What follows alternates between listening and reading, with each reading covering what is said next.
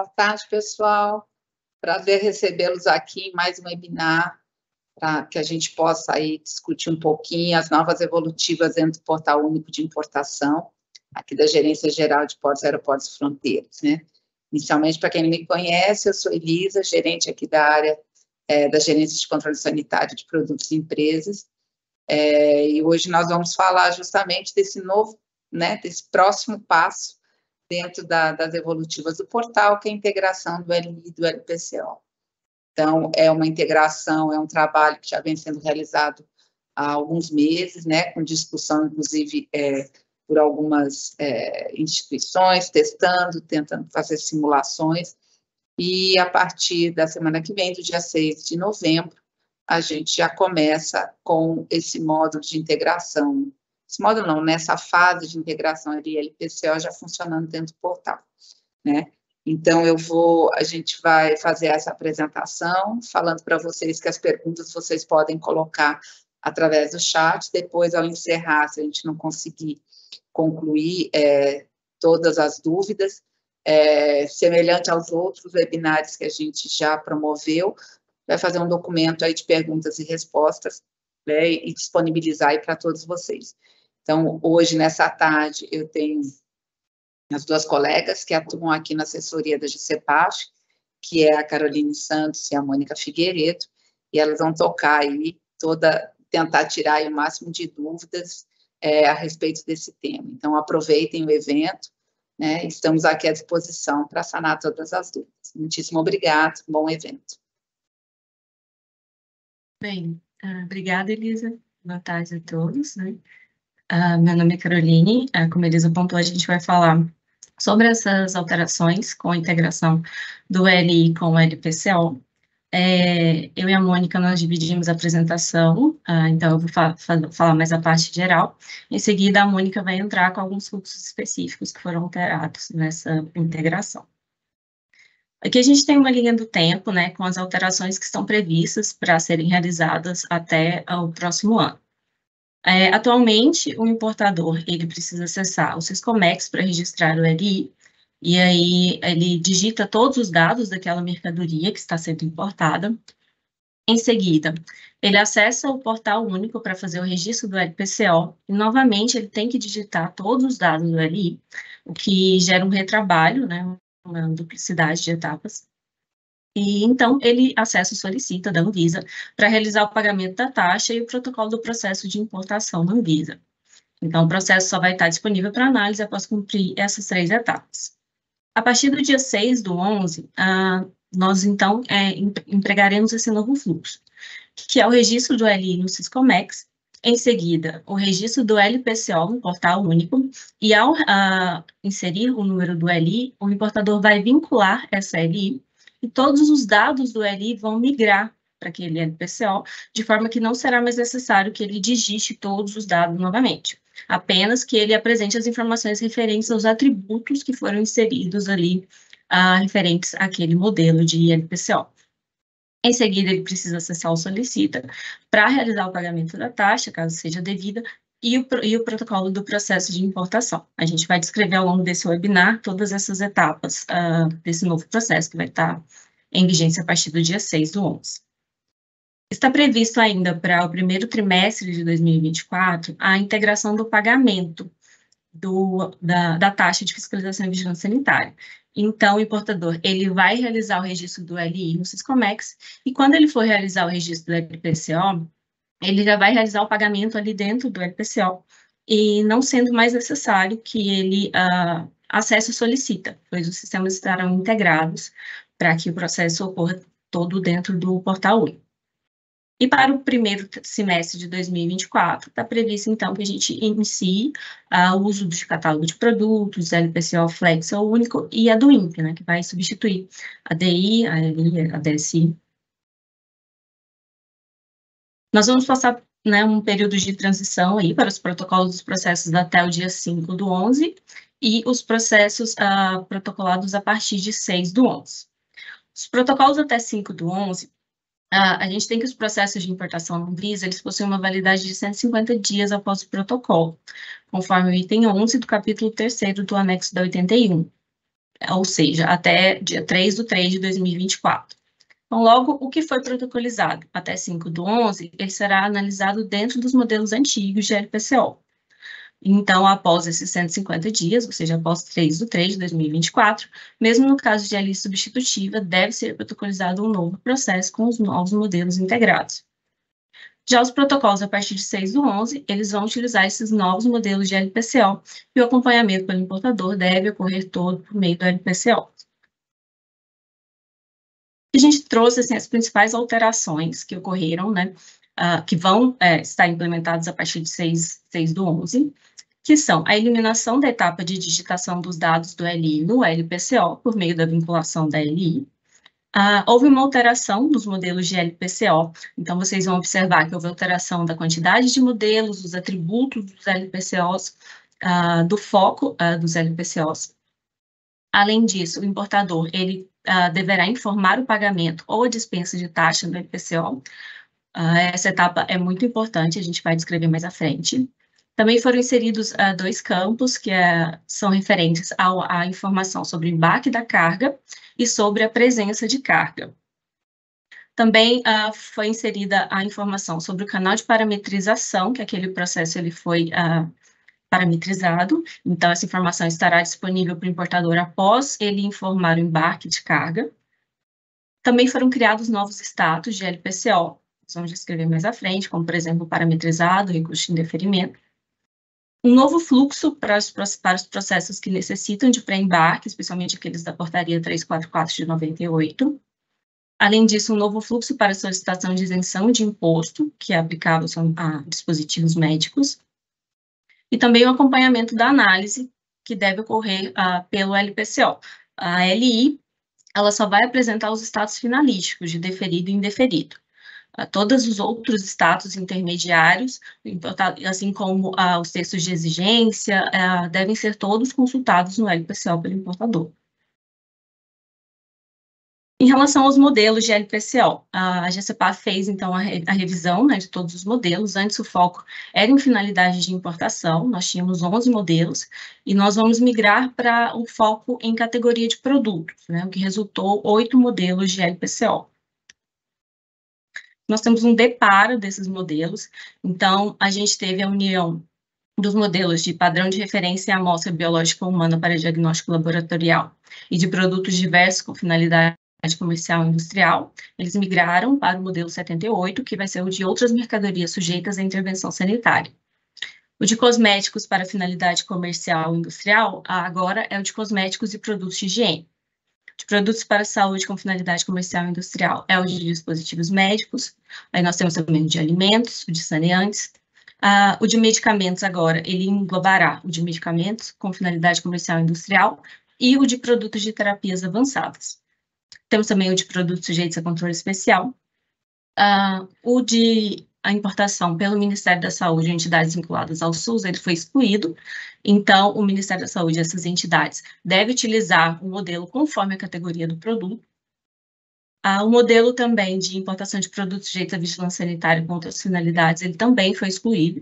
O importador deve utilizar conforme a categoria do, do produto, né, o modelo, ou então o modelo 78, que se refere a outras mercadorias sujeitas à intervenção sanitária. E também foi criado um novo modelo para situações de produtos não sujeitos, mas que possuem marcação obrigatória da Anvisa, que é o modelo 79 de mercadorias não sujeitas à intervenção sanitária.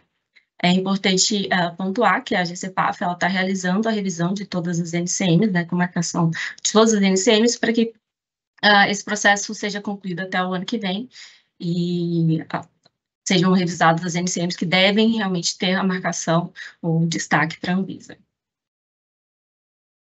Bem, aqui nós temos os fluxogramas que foram ah, inseridos no manual, com as principais mudanças, né? Os fluxos, o, para uma petição primária, o importador ele acessa o Syscomex registro LI. Em seguida, ele acessa o portal único, registra o LPCO, né? Ele vincula o LI ao LPCO. Ele preenche todos os dados e anexa as documentações aplicáveis e o LPCO estará com status aguardando pagamento. Esse status, ele não é, deixa o LPCO disponível para análise da Anvisa, pois é importante que o importador ele siga todas as demais etapas, que são ele realizar o protocolo do processo no solicita, retornar ao LPCO e inserir os dados do pagamento e informar o embarque da carga, e, e aí, então, o LPCO estará disponível para análise da Anvisa. Para petições secundárias com, com LI substitutiva, o importador ele, ele registra a LI substitutiva no Siscomex, em seguida, ele acessa o portal único para editar o LPCO ou realizar o cumprimento de exigência, caso essa LI substitutiva seja decorrente de uma exigência. Preenche todos os dados e anexa a documentação uh, necessária, e o LPCO passará para o status aguardando pagamento. Em seguida, ele acessa e solicita para protocolizar o processo, ele informa o número da LI substitutiva no solicita, retorna ao LPCO ah, para inserir os dados do pagamento e então a LPCO estará disponível para análise da agência. Já para petições secundárias dos demais tipos, o importador ele acessa o portal único, edita o LPCO ou cumpre a exigência, preenche todos os dados e anexa a documentação aplicável, o LPCO passa para o status aguardando pagamento. Em seguida, acessa solicita, protocoliza o processo, retorna ao portal único para inserir os dados do pagamento e aí o LPCO estará disponível para análise. Como eu mencionei, foram criados alguns novos status de LPCO, uh, ah, sendo que somente os LPCOs que vão se comunicar para o LI são os deferidos e, uh, o deferido e indeferido. Os demais, o LI não terá o status alterado. Então, foi criado o status de aguardando pagamento, né, para aqueles LPCOs que aguardam a informação sobre o pagamento da taxa o de autorização de importação emitida, que é a atual autorização de embarque. Então, esse termo autorização de embarque foi alterado para autorização de importação emitida, uh, que é conferido pela COSIC, que é a área técnica competente da Anvisa. Deferido LI e LPCO quando ambos estiverem deferidos. Deferido LI nos casos de liberação sob termo de guarda, por exemplo, em que o LPCO estará em exigência em análise, em exigência, uh, em inspeção e inspeção física, indeferido, quando o LPCO e o LI estiverem indeferidos. Foi criado um novo status de recurso de indeferimento, que é para os casos de recurso, né, que aguardam análise da Anvisa. Temos também a resposta de exigência, uh, o para-análise e o parametrizado, que são aqueles LPCOs parametrizados em canal de fiscalização, que é revelado para o importador somente após a indicação do embarque da carga. Agora a gente vai descrever melhor cada uma dessas etapas, né? Uh, a etapa de cadastro da Anvisa, na Anvisa não foi alterada. A gente tem no site da Anvisa todas as informações para que a empresa realize o seu cadastro na, na agência. É importante que os dados estejam atualizados quanto à razão social, endereço, responsável técnico e responsável legal, e alterações relacionadas à autorização de funcionamento, ou AE, elas precisam, além da alteração no cadastro, de petição de alteração em cada AF, que é, que é analisada pela área técnica competente na Anvisa, COAF. Ah, em seguida, então, o importador faz o registro da língua Syscomex, essa etapa também não foi alterada, permanece do, do mesmo modo.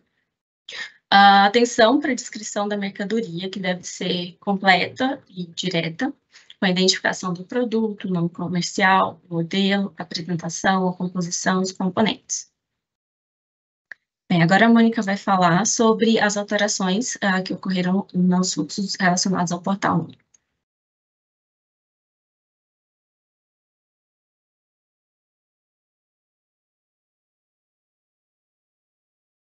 Bom, gente, boa tarde. É, eu sou Mônica Figueiredo e eu vou abordar agora detalhadamente as etapas é, descritas pela Caroline aqui é, nos fluxos que ela apresentou. É, primeiro, já vou pontuar que veio uma, um questionamento aqui que eu ainda não publiquei do que, que seria LI e LPCO. gente, LI é licenciamento de importação e LPCO são licenças, permissões, certificados e outros, que são, na verdade, é, formulários eletrônicos que nós temos, que uh, de onde advêm as informações de análise de processo de importação para a Anvisa e para os demais órgãos anuentes. Então, o LI, ele fica no sistema chamado Siscomex, que vai entrar em desuso a partir da integração e da utilização da DUIMP, é, e o LPCO é uma das, das, das, abas do sistema do portal único, que aqui no manual vocês vão ver que ele foi intitulado como PUCOMEX. Tá? Então, nada mais é do que os formulários e as informações que os órgãos anuentes utilizam para fazer a avaliação da anuência de importação. Então, vou começar explicando para vocês quais foram as evolutivas nesses novos modelos de importação e os dados e os fluxos que vocês devem seguir para registrar é, essas informações. Então, o registro do LPCO vai ser feito no Pucomex. Então, vocês vão entrar ou como despachante ou como é, importador e vocês vão fazer o login e vocês vão indicar no campo LPCO incluir pedido. É, e na inclusão do pedido dessa solicitação, ele vai abrir um segundo campo. Próximo, por favor, Carol.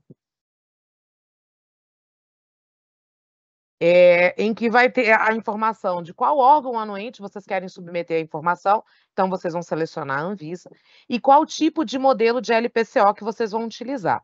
Conforme a Carol explicou, nós temos hoje, agora a partir de 6 do 11, a modelos específicos para a categoria de produtos. Então, indiferente à finalidade de importação que vocês vão trazer, se por um acaso vocês estiverem trazendo um dispositivo médico passível de regularização, isento de regularização, finalidade comercial, industrial, pesquisa científica, pesquisa clínica, seja a finalidade que for e a necessidade ou não de regularização desse produto, vocês vão escolher o modelo, o 0072 e 00072, porque todas as informações estarão compiladas para dispositivos médicos nesse formulário.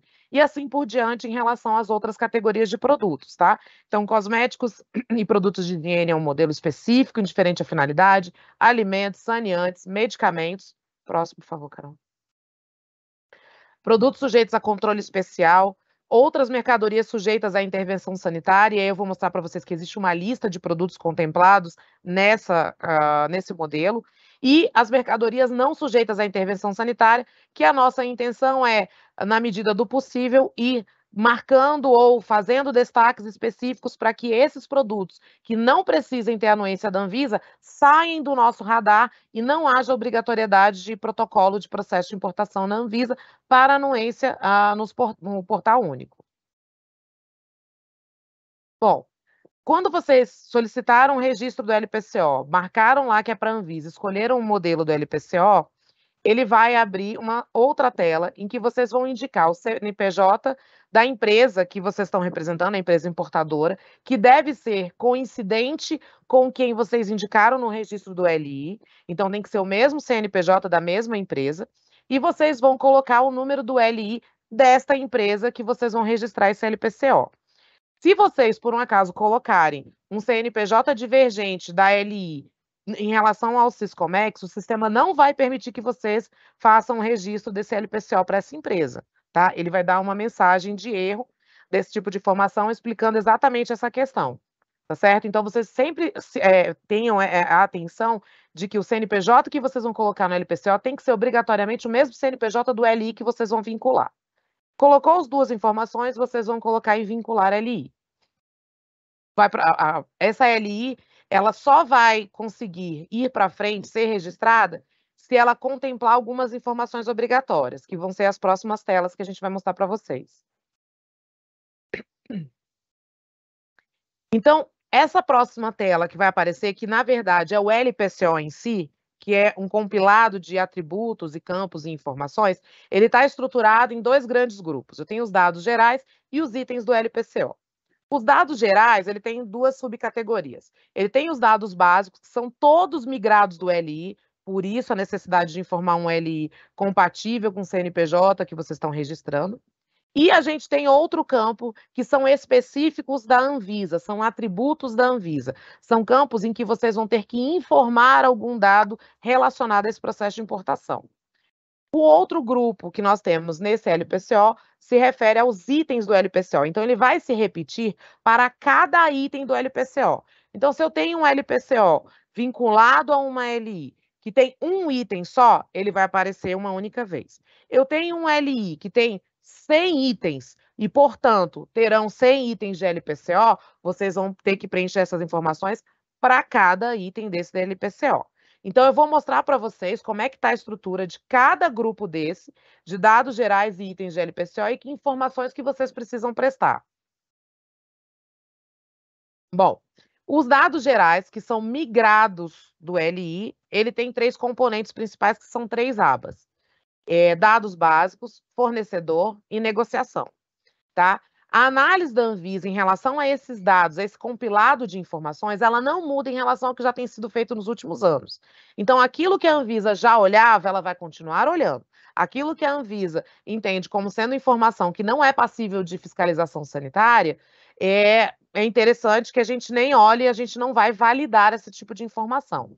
Tá? Então, o fluxo de análise vai permanecer o mesmo em relação a estes campos.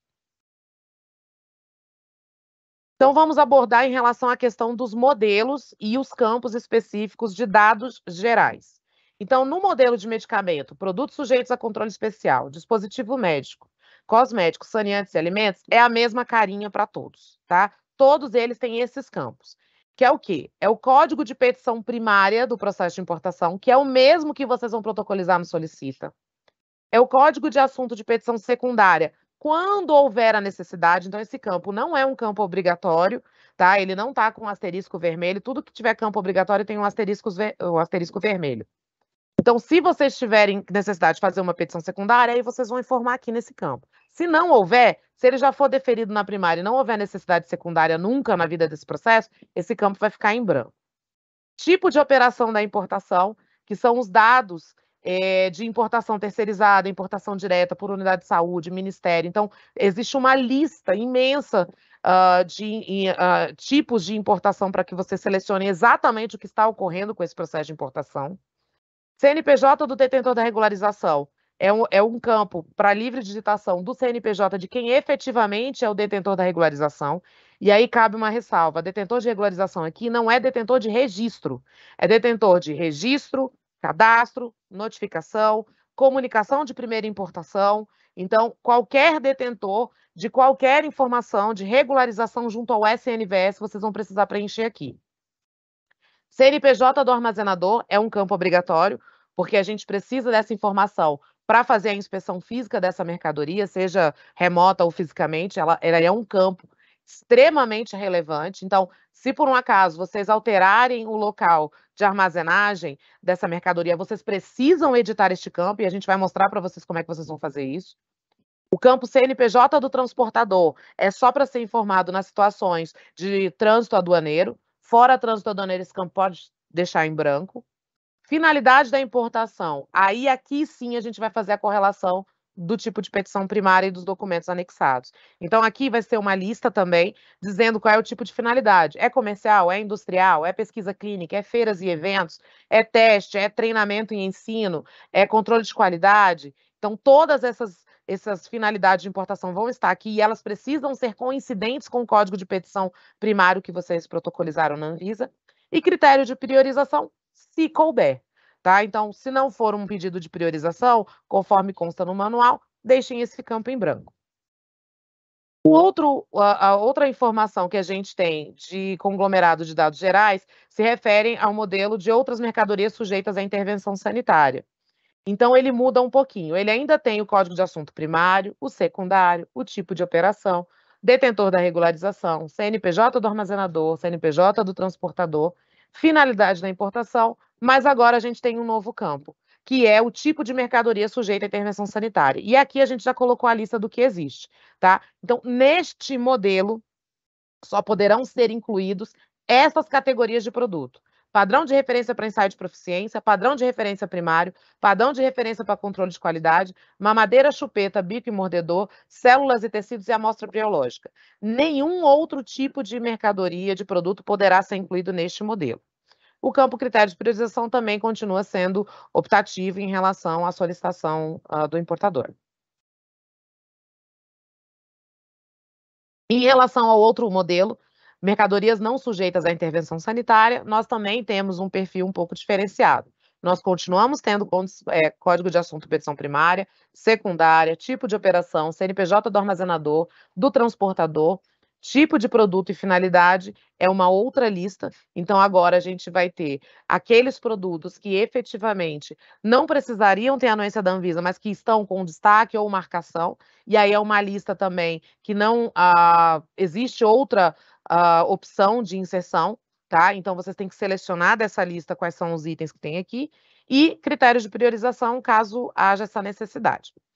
Em relação a esse mercadorias não sujeitas à intervenção e os outros sujeitos à intervenção, caso vocês verifiquem que o produto de vocês não está contemplado aqui, vocês não podem selecionar um item qualquer e justificar como documentação, indicando que uh, vocês não viram produto, selecionaram algum para o processo seguir. Não é para vocês fazerem isso.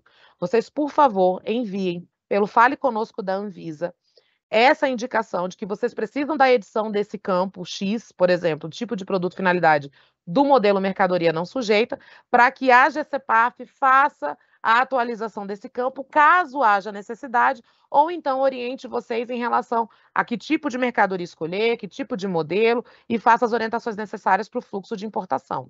Se vocês escolherem algum produto aqui equivocado, tentando justificar no LPCO de que não havia essa previsibilidade, o processo vai ser indeferido.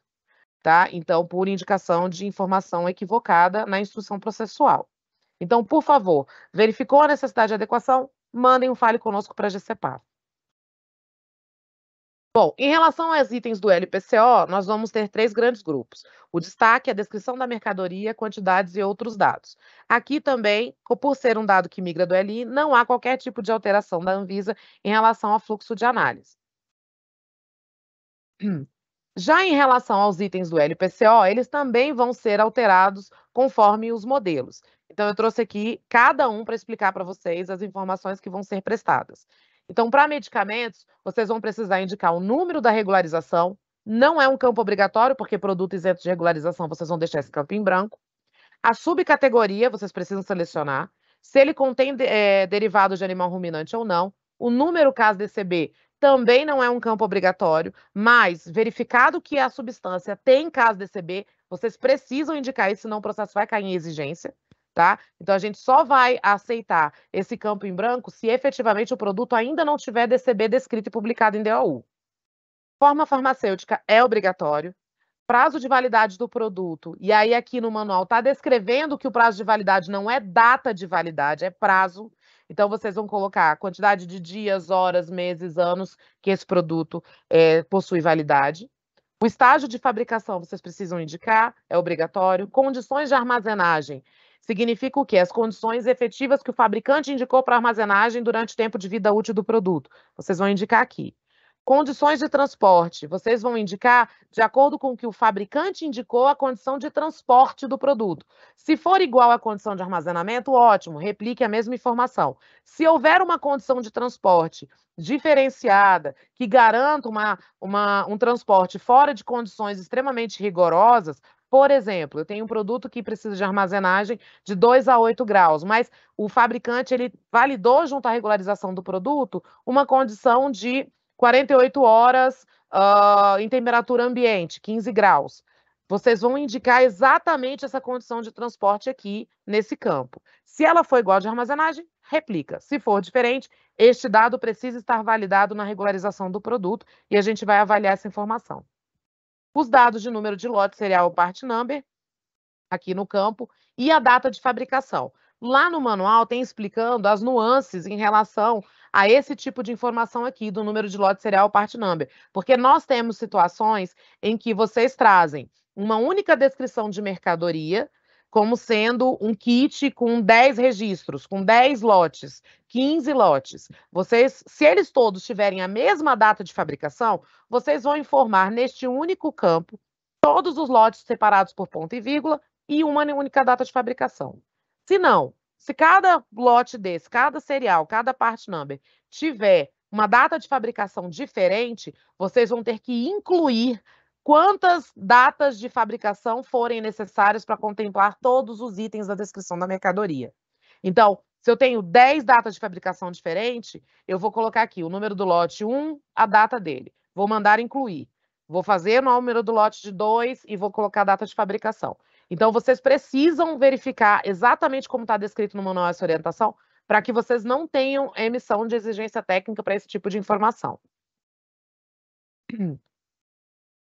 Em relação ao modelo de produtos sujeitos a controle especial, nós temos campos similares ao de medicamento, exceto pela inserção de um novo campo de lista da portaria 344, tá? Então, vocês, é uma lista é, de três itens, se não me engano, quatro, é, em que vocês vão selecionar qual é o, o produto específico da lista da portaria. O restante é exatamente igual ao de medicamentos. No de dispositivo médico, há algumas alterações. É, número de regularização permanece, também não é obrigatório, se tiver isento, ele não vai, ele pode ficar em branco.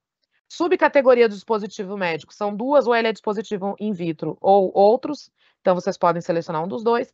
O nome técnico de dispositivo médico, vocês vão selecionar prioritariamente aquele que condiz com a regularização do produto na Anvisa. Contudo, nós sabemos que a listagem da GGTPS de nome técnico, ela não está atualizada em registros concedidos algum tempo atrás. Então, vocês vão utilizar se tiver o nome técnico aqui disposto, vocês escolhem esse específico do regularização, mas se não tiver, vocês podem selecionar o mais próximo possível da descrição do produto de vocês, tá? Esse campo vai ser avaliado pela área técnica, ele é imprescindível para a nossa gestão de risco. Portanto, preencher com todo afinco. É, em relação aos demais campos, ele é similar aos de medicamento. Na de cosméticos e produtos de higiene, ele também só vai alterar a informação da subcategoria de cosméticos.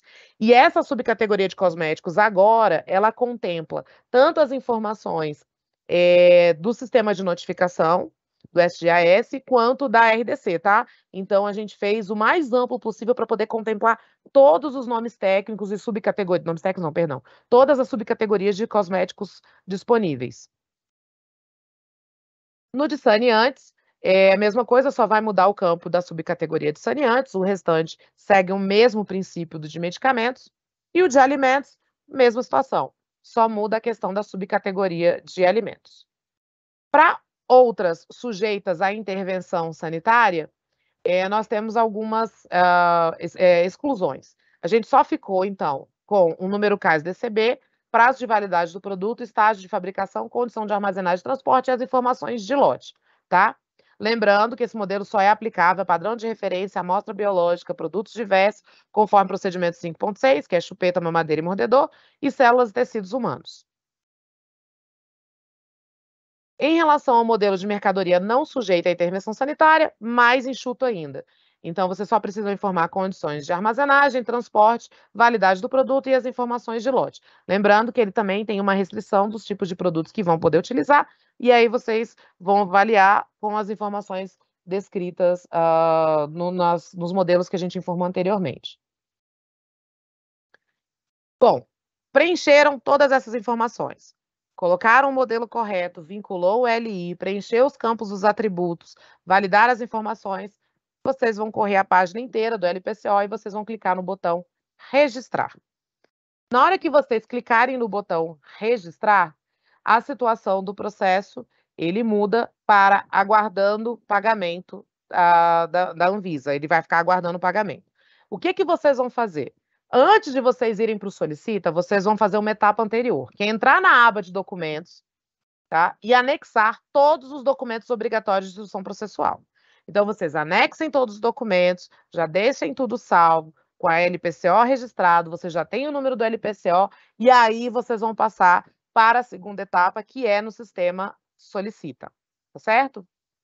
Bom, para anexar essas documentações, o fluxo não mudou, vocês vão anexar, vão colocar assinar e anexar, assine e anexa essas informações, ele fica disponível ali para vocês, é, vocês conseguem validar quem foi que anexou, horário, dia, tudo certinho. E uma evolutiva que houve em relação aos modelos anteriores é que agora vocês podem informar na aba LPCO agrupados, LPCOs que possuem o mesmo conhecimento de carga.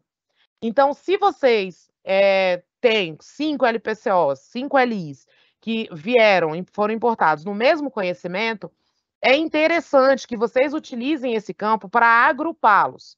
Isso significa que ele vai ser todos vão ser deferidos ao mesmo tempo? Todos vão ter o mesmo tratamento? Não. O tratamento é individualizado. Cada LPCO vai ser analisado de forma individualizada. Contudo, nós, ao sabermos que existem LPCOs agrupados nessa aba, nós vamos direcionar a análise desses processos para o mesmo fiscal, por exemplo para no mesmo momento de análise, para evitar divergências de interpretação documental, divergências de interpretação de campos, e para que os tempos de cumprimento, por exemplo, de exigência, ou de deferimento, ou até mesmo de indeferimento, sejam similares. Então, por favor, utilizem essa aba de LPCO agrupado para nos auxiliar na tramitação desses processos, na análise célere dessas demandas. Bom, como eu falei para vocês, o status desse LPCO vai ficar aguardando pagamento e para que vocês passem para a segunda etapa, que a Caroline agora vai explicar, que é a parte do solicita. Bem, o protocolo do processo de importação no solicita, Visa, ele não foi alterado. Permanece conforme disposto no manual do solicita, que está ali disponível no site da Anvisa. Então, o importador ele vai clicar ali no novo, a petição, primeiro em rascunho, perdão, depois em novo, petição inicial para uma petição primária. Ele vai selecionar o código de assunto da importação conforme a quantidade de itens, o tipo de produto e a finalidade daquela importação.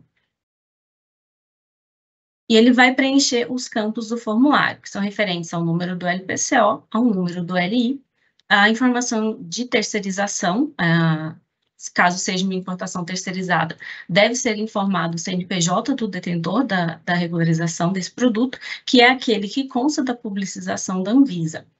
E é muito importante que a KDLI esteja vinculada exclusivamente ao LPCO, conforme foi informado lá no PUCOMEX, e a um processo de importação.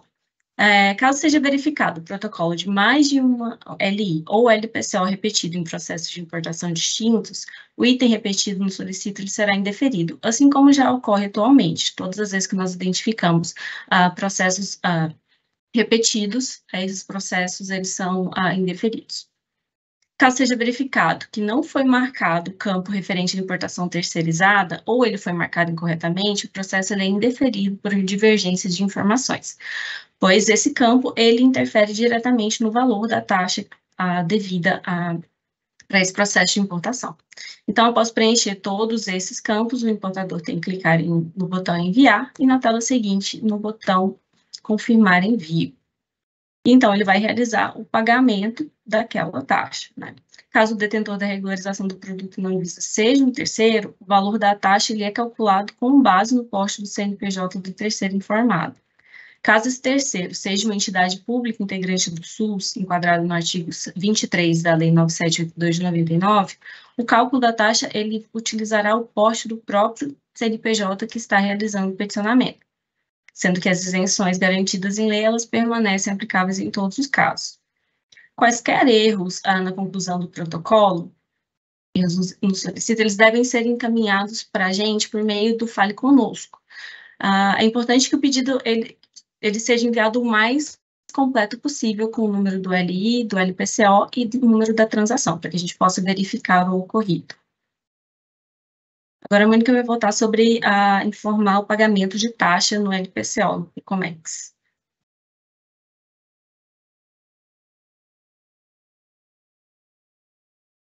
Bom.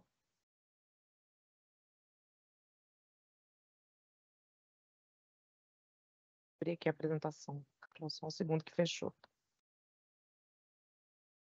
Tá. É, bom, então depois que vocês Vou, vou, sempre martelar em relação ao fluxo, tá, gente? Para a gente deixar bem registrado em relação a essa alteração. Então, vocês registraram o LI no Siscomex, registraram, vincularam, vincularam a LI ao LPCO.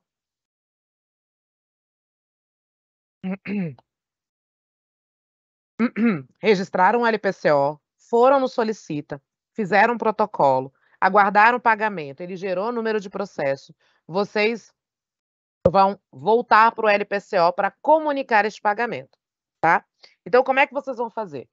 Com o número do LPCO, vocês vão fazer a consulta do LPCO de vocês, e aí, descendo a tela do LPCO até o final, vocês vão ver que existe um botão chamado pagamento de taxa. Existem duas opções, ou dispensa de taxa ou pagamento realizado. Dispensa de taxa são aqueles códigos de assunto que o fato gerador é 0000. Não tem taxa efetivamente a ser paga. Existem códigos de assunto primários que têm essa situação e existem secundários que também existe essa situação. É, aquelas petições, aqueles processos que têm taxa a ser paga, vocês vão selecionar pagamento realizado. De uma forma geral, o campo que vai ser aberto ao se selecionar dispensa de taxa ou pagamento realizado é o mesmo. O que, que vocês vão informar? O tipo de taxa, ele já vem dizendo que é registro de LPCO. A observação, a gente pede que vocês informem é, o número de processo ou qualquer outra informação que vocês queiram indicar aqui, de que a taxa foi efetivamente paga. E vocês são obrigados a clicar no botão confirmo que a operação está dispensada ou isenta de taxa, ou confirmo que a operação foi realizada e a taxa foi é, paga. Então, do, esse campo que aparece aqui para vocês, vocês precisam clicar nele para que efetivamente vocês se responsabilizem de que o processo foi efetivamente gerado no Solicita e pago, tá? Vocês vão confirmar a situação de pagamento. E aí o processo ele muda para a situação para análise e cai para análise da Anvisa no portal único. E aí, a partir de agora, nós vamos mostrar para vocês os fluxos diversos que nós temos em relação às necessidades que vocês vão ter de pré-embarque ou pós-embarque e necessidade de edição desse LPCO antes da análise da Anvisa, durante a análise da Anvisa e pós-análise e finalização da Anvisa. Então, para a gente começar a conversar aqui, é, a gente vai falar das, da, dos processos que necessitam de pré-embarque da carga. Então, nós vamos ter dois momentos muito específicos. Os protocolos efetuados até dia 5 de novembro, às 23h59, vão seguir um fluxo específico, e aqueles protocolizados a partir do dia 6 do 11 à meia-noite, 0000, vão seguir um outro fluxo de análise. Então, eu vou mostrar para vocês como é que a gente vai trabalhar nesses dois sistemas e como é que eles vão funcionar. Então, esse desenho aqui é para aqueles protocolos efetuados até dia 5 do 11 no Solicita. Então, o nosso marco temporal é processo protocolizado no Solicita da Anvisa, tá? Gerou taxa, gerou processo dia 5 do 11. Então, o que, que a gente tem hoje? Ele tem o que já funciona hoje. Então, o que, que vocês normalmente fazem? Primeiro, Pré-embarque é procedimento 1 e 1A do capítulo 39 do anexo da RDC 81. Então, só esses processos, hoje, vocês peticionam o código de assunto primário, que é um desses três que estão aqui na, na, na tela inicial, de pré-embarque. Estes processos, eles são encaminhados por uma outra área da Anvisa, que é a COSIC, que faz a análise do pré-embarque, e ela se manifesta nesse processo através da indicação no Ciscomex da, do embarque autorizado. Depois, quando vocês embarcam a carga, a carga chega aqui no Brasil, vocês vão fazer o desembaraço, vocês sempre fazem uma petição secundária neste processo de importação, que é um aditamento que não tem taxa, para que este aditamento seja encaminhado para o PAFME, que faça a análise do desembaraço da mercadoria, que vocês bem sabem, precisa de inspeção, para controle de cota e é encaminhado para fiscalização sanitária. Então, assim, todos os que foram protocolizados até dia 5 do 11 no Solicita, eles vão seguir este mesmo estrutura que já tem hoje. A partir do dia 6, a gente vai mudar consideravelmente o fluxo. Então, vamos lá. O que, que a gente vai ter? Lembrando, até dia 5 a gente tinha dois, duas petições, uma inicial com taxa e um aditamento secundário sem taxa. Essa dinâmica vai permanecer nesses processos do dia 6 do 11, mas de que forma? Então, a COSIC, ela vai, é, dentro do processo de uh, autorização de importação, ela criou uma petição secundária sem taxa. Este processo de autorização de importação, ele não é da GGPAF, da GCPAF, ele é da COSIC, tá? Então, vocês vão peticionar esse código de assunto 70873, que é uma solicitação de, de autorização de pré-embarque, de embarque do produto, na COSIC. A COSIC vai analisar essa demanda sem taxa e vai se manifestar no LPCO quanto à autorização de importação emitida. Então, isso é um status do LPCO. Ele vai ficar autorização de importação emitida. Se eu consultar esse, LP, esse LI no Siscomex, vai estar essa informação? Não vai estar essa informação só estará no LPCO. O monitoramento de tudo a partir do 6 do 11 será pelo LPCO. Então, vocês vão consultar o LPCO e ele vai ter a informação lá de que a COSIC deu a autorização de importação emitida. Ok? é uma petição secundária vinculada ao processo de autorização de importação da COSIC e eles vão dar o pré-embarque. Quando a carga chegar, vocês vão fazer a solicitação de desembaraço. E aí, que código de assunto que vocês vão peticionar? Vocês vão peticionar o código de assunto que vocês faziam antes, tá? Ah, desculpa, eu, eu pulei a tela, perdão, Carol. Você pode voltar uma? Muito obrigada. Eu que pulei, perdão. É, só voltando um pouquinho, recapitulando, esse código de assunto secundário da COSIC, é, solicitação de autorização de embarque, vocês precisam anexar o extrato do LPCO. Por quê? Porque como a todo acompanhamento vai ser pelo número do LPCO, a COSIC precisa ter ciência de qual é o número do LPCO que eles vão se manifestar. Então, é uma documentação obrigatória que vocês precisam apresentar nessa petição para que eles se manifestem, ok? é, é sempre uma petição secundária por LPCO. Então não adianta vocês ter lá, vocês têm três LIs, vocês querem fazer uma petição só, citando os três LPCOs, com os extratos dos três LPCOs. Não vai ser aceito.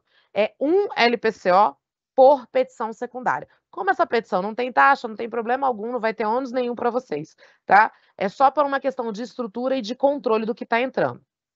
Obrigada, Carol. É, em relação a desembaraço dessa mercadoria a partir do dia 6 do 11, o que, é que vocês vão fazer? Aqueles três códigos de assunto específicos de anuência de importação de procedimento 1 e 1A, agora, ao invés dele ir para a COSIC, ele vai para o PAFME.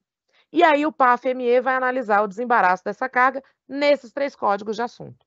Tá? E esses três continuam com o mesmo valor de taxa, mesmo tipo de informação e mesmo regramento, ok? Então, assim, resumidamente, o que, que vai acontecer?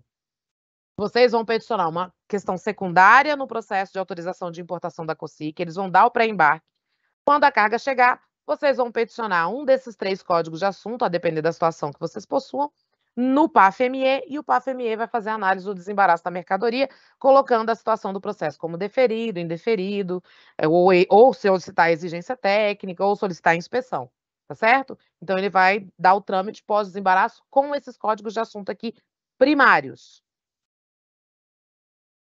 E aí vem uma, um alerta aqui para vocês, que é o seguinte: se por um acaso vocês peticionarem no formulário do LPCO, lá na solicitação de pré-embarque, no LPCO, um código de assunto de petição primária errado, mesmo que a COSIC dê o embarque autorizado, no momento do desembaraço, verificado pelo PAFME que essa informação está discordante da instrução documental da finalidade de importação, este LPCO vai ser indeferido.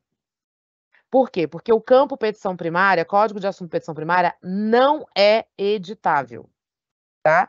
Ele é extremamente específico e relevante, inclusive para uma etapa futura que a gente vai ter, que é o de pagamento integrado uh, no portal único. Então, Verificado que vocês fizeram um código de assunto primário do LPCO errado, mesmo que tenha sido dada autorização de embarque, o pós-desembaraço será indeferido nas situações uh, irregulares. Vou poder fazer novo processo? Com certeza. Vocês peticionem um novo processo, é, vão ter que solicitar para embarque de novo, vai fazer o pós-desembaraço com o código certo, e aí a análise vai fluir em relação a essas mercadorias. Então, por favor, muito cuidado ao selecionar o código de assunto de petição primária nesses casos específicos de pré-embarque. É, matamos essa questão de informação de importação que precisa de pré-embarque. Então, a gente vai para uma nova fase que se aplica a todas as, todos os processos de importação. Quando vocês fazem o registro do LPCO, fazem pagamento da taxa e a situação do LPCO vai para análise, vocês não têm revelado para você o, o, canal de parametrização. Por quê? Porque nós precisamos ter certeza de que a carga foi embarcada para revelar o canal de parametrização. E neste caso, é necessário que vocês informem este dado no campo específico. Então, no LPCO, existe um botão chamado carga, em que vocês precisam informar o embarque da carga, tá? E aí, quando clicar nesse botão, ele vai aparecer essa tela, em que vocês precisam colocar o modal, o número do conhecimento da carga, a data de embarque, e aí ele aparece também o horário, e precisam confirmar que a informação é verídica, tá? Se vocês não souberem o horário desse embarque da carga, vocês podem deixar 0000, não precisa indicar não. Mas a data precisa ser fidedigna em relação aos documentos que vocês vão anexar para comprovar o embarque da carga. Infelizmente, a Anvisa ainda não possui visualização do CCT, do, do sistema, tá? Então, nós ainda precisamos solicitar que vocês apresentem é, os documentos obrigatórios de conhecimento da, da carga, tá? Vocês precisam anexar isso no PUCOMEX. É, caso haja embarques parciais, né, é, de vários conhecimentos de carga, mas referentes a um único LPCO, vocês vão sempre colocar aqui neste campo a data é, da primeira perna, tá? Do momento inicial do embarque dessa carga, porque é ele que a gente vai contar para as etapas subsequentes, ok? No momento, então, que vocês informarem o embarque da carga, a, o canal de parametrização vai ser revelado para vocês. Então, vocês vão saber, dando transparência total a vocês em relação aos nossos acordos de cooperação com a CSEX, com a OMA, e, e em relação aos canais de parametrização que foram submetidos aos processos. Tá? Então, vocês informando o conhecimento de carga, o conhecimento de embarque, perdão, vocês vão saber se o processo foi para canal verde, foi para canal amarelo e foi para canal vermelho, tá? É, se vocês, por um acaso, não informarem o embarque da carga e esse e ainda assim esse processo for distribuído para análise da Anvisa, vai ser feita na exigência e notificação de exigência para que vocês informem o conhecimento. Então, por favor, no momento em que vocês já souberem a data do embarque, já façam essa alteração no processo, no LPCO, porque senão vai ser feita uma nova exigência e vocês vão perder tempo. Vai ser feita uma nova comunicação e vocês vão precisar fazer um cumprimento de exigência para informar o embarque da carga e aí sim o processo seguir a, a sua análise, ok? Caso o processo de vocês caia no canal vermelho, vocês tendo ciência dessa informação, vocês poderão já, previamente a qualquer notificação da Anvisa, informar a presença de carga. Tá? A presença de carga também é um botão que fica no próprio extrato do LPCO, no, no, no, no formulário do LPCO, e ele abre uma janela para que vocês confirmem que a carga está disponível para verificação documental no armazém alfandegado que vocês indicaram no LPCO. Então, vocês precisam marcar essa confirmação, esse atestado de que a carga está disponível para inspeção. Então, isso não quer dizer que a carga chegou no Brasil. A gente quer que vocês informem quando que ela está disponível para fiscalização, para inspeção física, tá?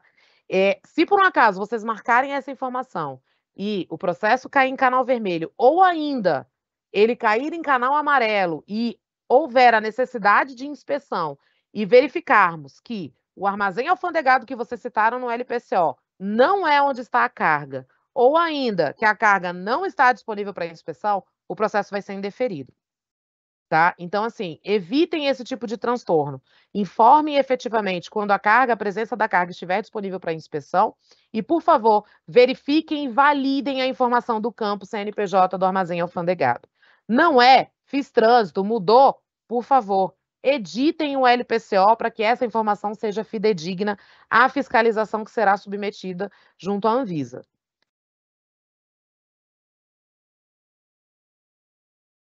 E como é que a gente faz essas edições desses LPCOs que tanto eu pontuei aqui? Então, assim, existem momentos diferentes. Existe a edição do LPCO antes da análise da Anvisa, então foi distribuído, mas a Anvisa não fez nenhuma manifestação ainda. Como é que vocês vão fazer? Entro no LPCO, clico em alterar a situação, coloco editar LPCO. Esse LPCO ele vai criar uma em exigência fictícia, como se fosse uma autoexigência do importador. Ele vai assumir de que ele está editando LPCO e esse LPCO vai poder ficar disponível para a Anvisa para avaliação. Como é que vai funcionar isso?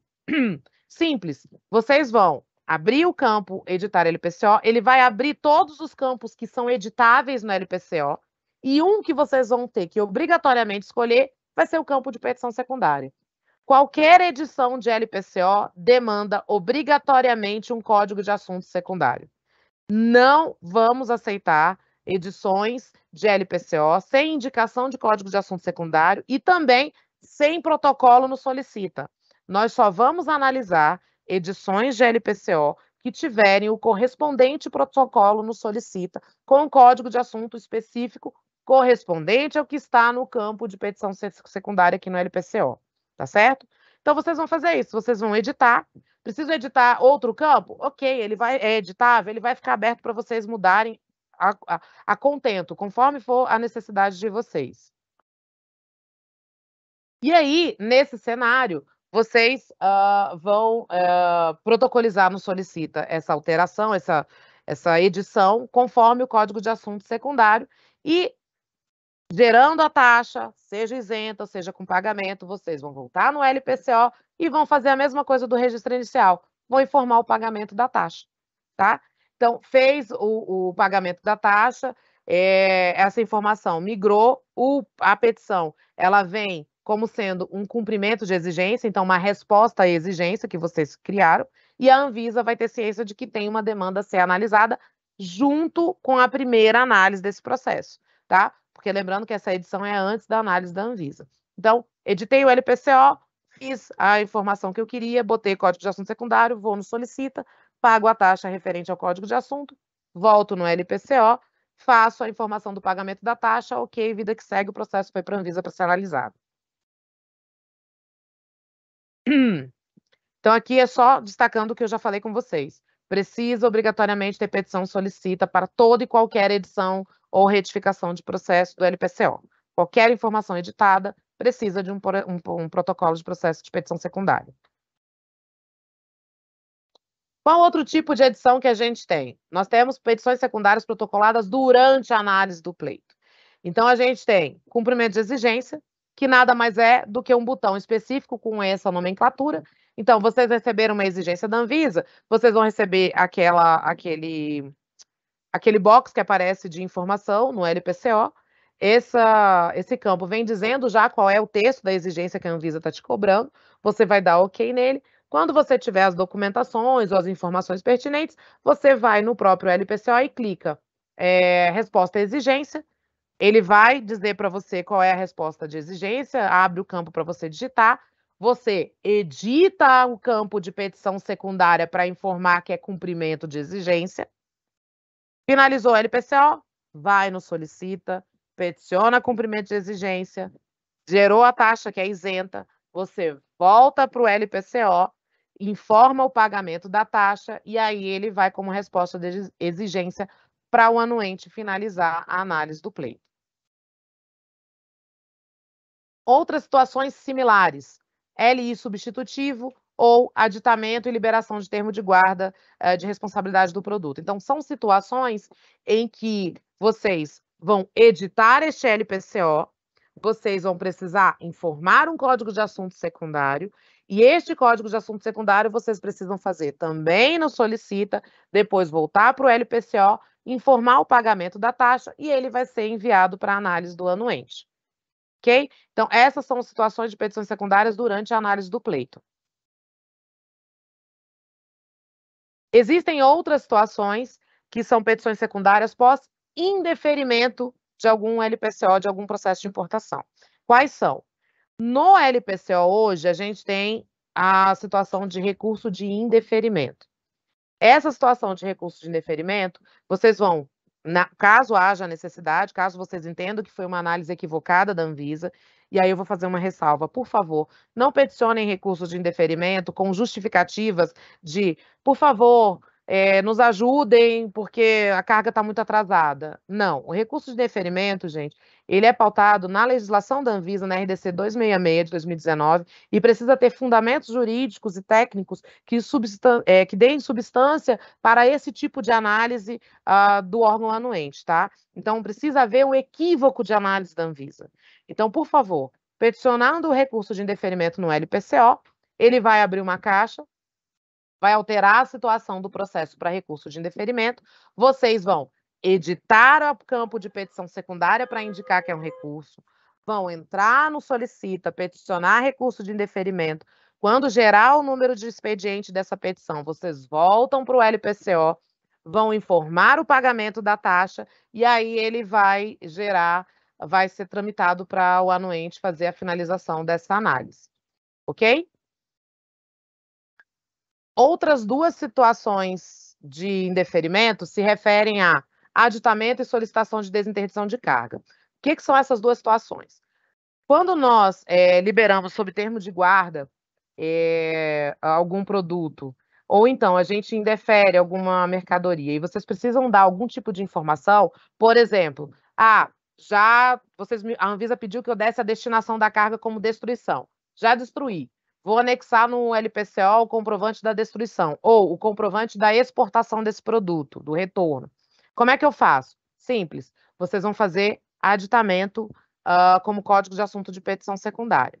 Em relação à solicitação de desinterdição de carga, é uma situação que acontece, por exemplo, quando há um indeferimento de um processo de importação, é, há uma interdição dessa mercadoria, mas, porventura, vocês conseguiram sanear essa questão num novo processo de importação.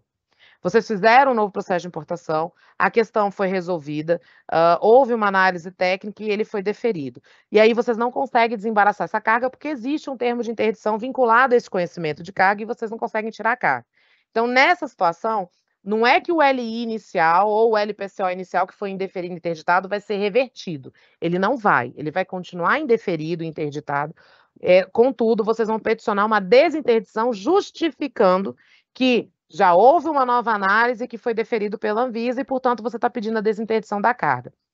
Essas duas situações, em relação ao indeferimento, a gente não consegue fazer no LPCO. O LPCO não possui botões para que vocês possam fazer essa solicitação ali. Então, diferente do recurso, o que, é que vocês vão fazer? Vocês vão fazer só um solicita. Então, vocês vão entrar, verificar o que é essa situação, você vai anexar a documentação que você quer no LPCO, comprovatória, mas vocês não vão conseguir editar o LPCO, não vão conseguir fazer pagamento no LPCO, nada disso. Então, vocês só vão no solicita, vão peticionar aditamento ou solicitação de desinterdição de carga, vão esperar o expediente ser gerado e aguardar a manifestação da Anvisa. É, lembrando que a manifestação da Anvisa é sempre em cima da tramitação do processo do solicita, tá? Então, fiquem tranquilos, porque o anuente vai receber esse código de assunto. Ainda em relação às situações uh, pós-finalização de uma análise, a gente tem as pós-deferimento do pleito.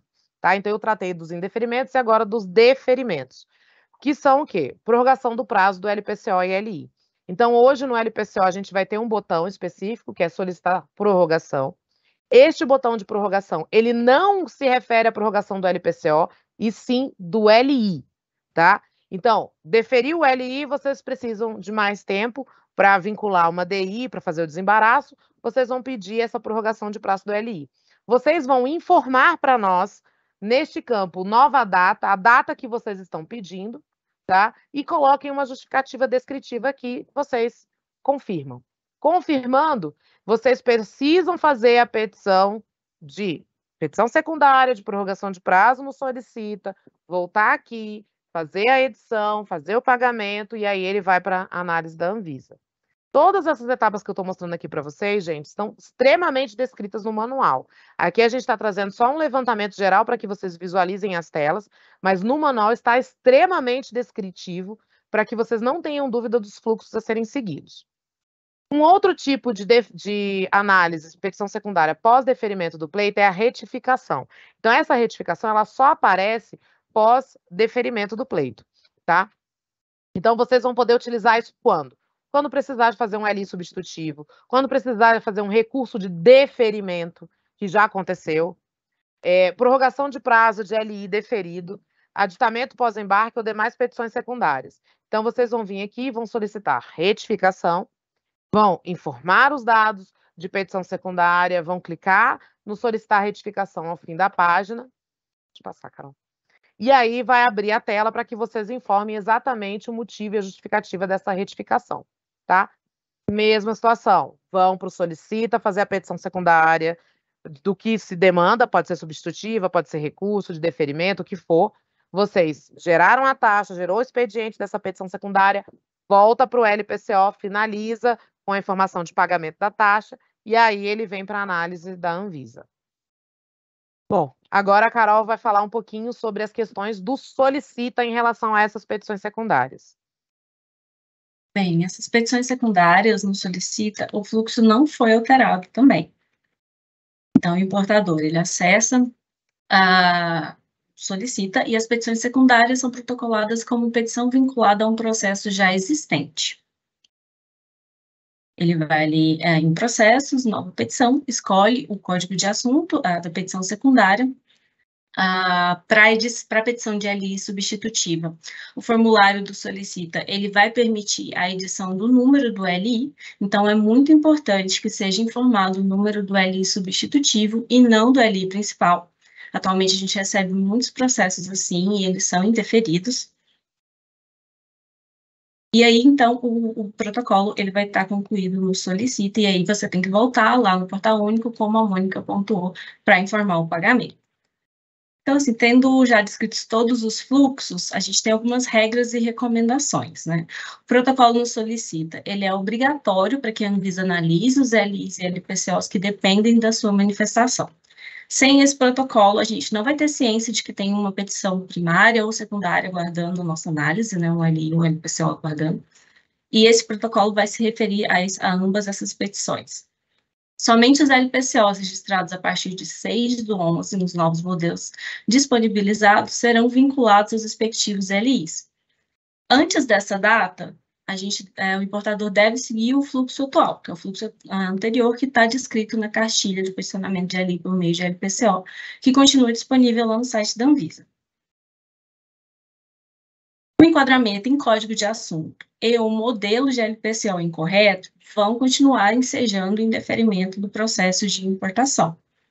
É, no manual, vocês podem observar que está muito bem descrito uh, quais os códigos de assunto aplicáveis a cada modelo, para que não haja nenhuma dúvida no momento do enquadramento. As notificações de exigência elas vão ser registradas exclusivamente no portal único, de modo que vai caber ao importador consultá-las periodicamente, realizar o respectivo protocolo da petição de cumprimento no solicita e responder a exigência no LPCO.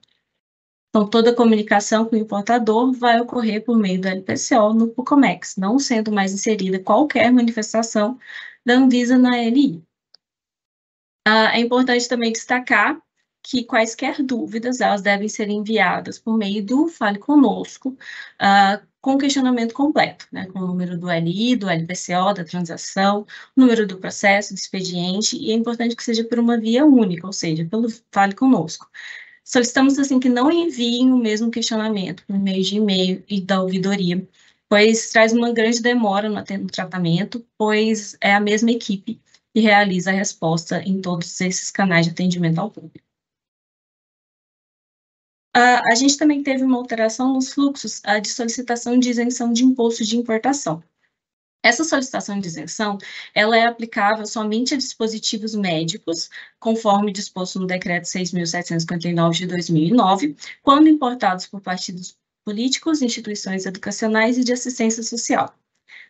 Atualmente, o fluxo dessa solicitação é realizado por meio do SEI, mas a partir do, do dia 6 do 11, esse requerimento ele deve ser enviado por meio de protocolo de petição secundária uh, de código de assunto 90491, imediatamente após o protocolo da petição inicial. Então, você fez a petição inicial, uh, segue aquele fluxo de edição de LPCO antes da análise da Anvisa e realiza ali uh, o protocolo do processo de importação dessa petição secundária. É importante que seja imediatamente para que, ao se distribuir esse processo, para análise já, já seja avaliada a inserção do texto padrão no parecer do LPCO e da LI quanto ao reconhecimento de, de solicitação de isenção de imposto de importação. A partir de 6 do 11, então, nós não vamos mais aceitar que esse tipo de solicitação chegue por meio do SEI, e-mail ou fale conosco. Muito importante seja seguido o fluxo que está descrito lá no manual, que é isso que eu acabei de detalhar. Bem, o acompanhamento da fila de distribuição de processo, ele permanece do mesmo jeito. A gente tem no, no site da Anvisa um painel que é separado por posto de anuência, né? Então, a gente tem abas ali do PAFME, PAFAL, PAFPS, PAFCO, em que é possível que o importador visualize a data de entrada de cada processo e a data atual de distribuição. Então, assim, ele vai ter ali uma estimativa sobre quantos dias uh, para que o seu processo ele seja distribuído para análise. Lembrando que é uh, uma estimativa para distribuição e não para análise, pois após a distribuição, o servidor anuente ainda tem um prazo para se manifestar, de acordo com a RDC 743 de 2022. Né? É importante colocar também que os processos que possuem uh, situações prioritárias, eles vão ser visualizados também nessa fila, só que o tratamento diferenciado para esses processos, ele ocorre no momento da nossa distribuição, ou seja, é efetuado internamente aqui pela GCPAF. Bem, a consulta dos códigos de assunto de petição pode ser realizada lá no site da Anvisa, né, por meio desse, desse link. Então, é possível que você uh, pesquise pelo número ou, então, por algum termo do código de assunto. Lembrando que o emprego do código de assunto incorreto vai ser um indeferimento do processo. E esse manual que a gente publicou na sexta-feira, ele está disponível pelo seguinte caminho. Uh, no site da Anvisa, você vai clicar em centrais de conteúdo, publicações, portos, aeroportos e fronteiras, e depois em guias e manuais. Aí o manual está disponível na página 2. A gente recomenda fortemente que esse manual ele seja lido, uh, pois, como vocês puderam ver, assim, houve alterações em praticamente todos os fluxos. Nessa página vocês também vão encontrar os demais manuais que foram publicados no último ano, né, como o Manual de Importação de Dispositivos Médicos, eh, de Importação Não Sujeita à Vigilância Sanitária, de Análise de Processo de Importação de Alimentos uh, e de Feiras e Eventos. Bem, era isso. A única, não sei se a gente vai ter alguma pergunta. Temos, temos algumas aqui que eu queria pontuar, Carol, por gentileza. Tá. É, houve um questionamento aqui. Primeiro, assim, nós tivemos bastante manif manifestações na, de perguntas. É, nós vamos responder todas através do perguntas e respostas que nós sempre disponibilizamos junto com a gravação do webinar, tá? Fiquem tranquilos, o que não foi respondido agora no chat vai ser respondido posteriormente. É, mas foi questionado em relação à necessidade de apresentar o conhecimento original. Gente, a Anvisa nunca cobrou conhecimento original, tá? É, a, a, o, que nós cobramos é que pode ser tanto original com, quanto as cópias não negociáveis, tá? O que não é aceito é draft, tá? E a, o conhecimento tem que estar assinado e datado pelo transportador, tá certo? Então, assim, é, não precisa ser original, não. Pode ser outro conhecimento, sem problema algum, desde que ele esteja datado e assinado e não pode ser draft. É, em relação aos códigos de assunto, Todos os códigos de assunto que estão nos campos de petição primária e secundária do LPCO são os mesmos que nós já temos disponibilizados uh, no consultas da Anvisa, tá? No site da Anvisa. Não houve alteração, tá certo? Se houver a necessidade de alteração desses códigos de assunto, fiquem tranquilos que nós vamos fazer um informativo específico, vamos publicar no Notícias Siscomex, vamos publicar no site da Anvisa todas e qualquer alterações que se fizerem necessárias de códigos de assunto tá? Não é o caso agora, não houve esse tipo de alteração dos que já existiam, tá? O que houve, na verdade, foi a criação, como a Carol bem mostrou, do código de assunto específico de isenção, tá certo? De ofício, emissão de ofício de isenção por conta do, da alteração do fluxo desse tipo de solicitação. É, em relação à importação de pessoa física, que é o último questionamento que tem aqui, Uh, não houve alteração, tá, gente? Então, assim, importação de pessoa física, por enquanto, neste webinar, ele não foi abordado. Teremos mudança daqui para frente? Teremos, mas não é o escopo dessa alteração desse momento do dia 6 do 11, tá? É, a gente vai mudar algumas coisas em relação a formulários e fluxos, mas a gente vai avisar vocês. É, para cannabis, produtos derivados de cannabis, a gente tem que fazer essa distinção. O que é importação de pessoa física pela 660 é um fluxo específico pessoa física, tem uma autorização, tudo direitinho. O que é importação de produto cannabis como sendo procedimento de controlados é, é, diferente. Então, vocês não vão mudar, vocês vão continuar colocando o código de assunto que vai para o PAFME fazer esse tipo de análise, tá? E, e, e a análise documental não foi alterada, tá certo? Então, assim, Existem dois fluxos, um de importação pela pessoa física para seu uso próprio e outra das, das solicitações, por exemplo, de importação por unidade de saúde, por secretarias, tá? Então, este fluxo não foi alterado. O que tinha LPCO continua tendo obrigatoriedade de LPCO e o que não tinha LPCO, ele vai continuar por um tempo como sendo isento de LPCO. Mudando esse tipo de fluxo, a gente vai avisar vocês através do, do nosso site. Ok? Era isso, Carol. Bom, gente, aqui vou, vou encerrar o nosso webinar. É, essa apresentação vai ficar disponível no site da Anvisa. Se vocês tiverem qualquer tipo de dúvida e pontuação, por favor, envie pelo Fale Conosco. E aqui, em nome da gerente da Elisa, do gerente geral do Bruno, a gente agradece formalmente é, a participação de vocês e todo o apoio prestado pela equipe da CSEX.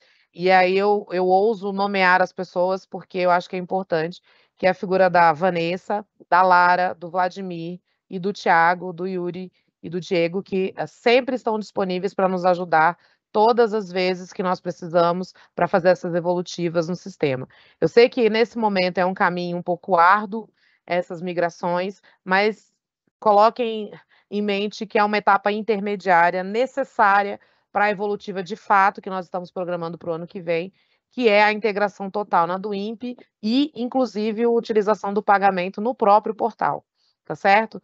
Então, nós contamos com a ajuda de vocês para que esse momento intermediário seja o mais tranquilo possível em relação tanto aos protocolos quanto às análises dos nossos técnicos. Agradecer a equipe técnica toda dos anuentes que está aqui presente assistindo e dizer que estamos também disponíveis para qualquer tipo de dúvida que eles, porventura, tenham uh, durante essa, essa integração do LI com o LPCO. Ok? Muito obrigada, tenha uma boa tarde é, e um bom resto de semana, já que a gente tem feriado na quinta. Até logo. Obrigada, pessoal. Tchau, tchau.